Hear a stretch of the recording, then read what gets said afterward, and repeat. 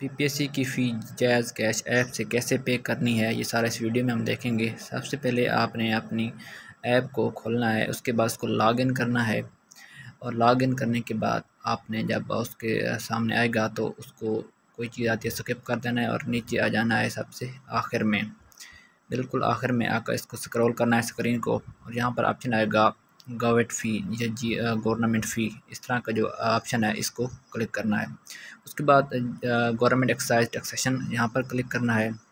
जब यहाँ पर आप क्लिक करेंगे तो उसके बाद जो स्क्रीन पर आपको एक नंबर कहा जाएगा, इसको दर्ज करें। P S I D number तो यहाँ पर ये आपने इसको दर्ज करना है। ये जितने हिस्से होगा, ये नंबर कहाँ से आपको मिलेगा? ये जो ऐड आएँगे एडवर्टाइजमेंट आएगी, या वहाँ पर आपको ये नंबर मिलेगा। ये सत्रह इंचों का होगा या सोलह इंचों का तो ये आपने बिल्कुल ठीक से इसको यहाँ पर एंटर करना है।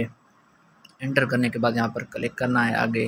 तो यहाँ पर ऑटोमेटिकली वो आपसे कहेगा कि आपका 600 नंबर जो है ना, वो आपके अकाउंट से काटा जा रहा है। तो आपको इन्हें कंफर्म कर देना है और कंफर्म करने के बाद जो है ना, आपकी फ़ी पे हो जाएगी इस तरह से।